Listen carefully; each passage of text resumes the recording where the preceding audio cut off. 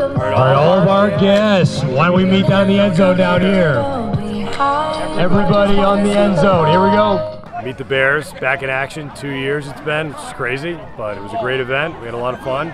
Um, now we have Luca about to come on, which is one of my favorite movies. My daughter's a little afraid of it, but she's three, so that's okay. We basically have the kids come out, we run them through drills and have fun with them and kind of get them to meet us and you know what I mean, kind of make that connection with the community because that's that's really huge to have that relationship. So.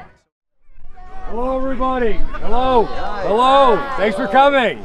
Thanks for coming. How we doing? Everybody, here we're all we're all friends. We're all outside. Hey, thanks for coming tonight. We really appreciate it. Thanks for coming to our. Hey, you like our new turf?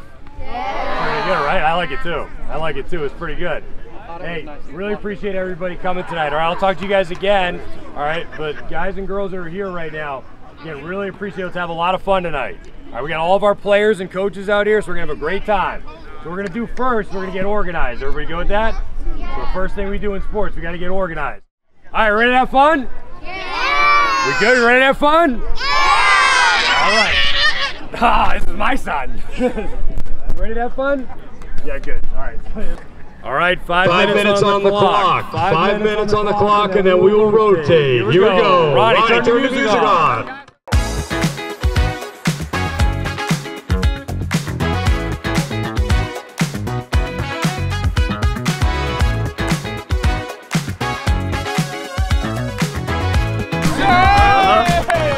They have a great time. I mean, we try to get them juiced up for it, and it's a big part of like the end of camp too. Like today was the end of training camp. We're moving on to game one.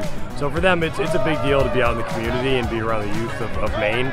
For the guys like that just got here and don't really know about Maine and stuff, they don't realize how much of an impact we really have. Like when we wear these jerseys and people see us out in public, they're like, "Oh my God!" They're like, you know what I mean? So it's like it's good for them to see that like connection that the community has with this, the team. It's just fun, and, and honestly, it's been a while, so I think the guys appreciate that, and they don't really take it for granted. It's actually funny because I know a lot of the kids from when I worked at the Y, so those kids kind of grown up a couple years now, so they're like bigger and stuff. I'm like, oh man, I haven't seen you in a few years. Like, so it's, it's funny to see them all now, and they still obviously like remember me. I remember them, so it's, it's cool to have the connection. Definitely some players out here, but you know, I think it's a dead period right now. I got to double check, so you know, I won't comment on recruiting too much.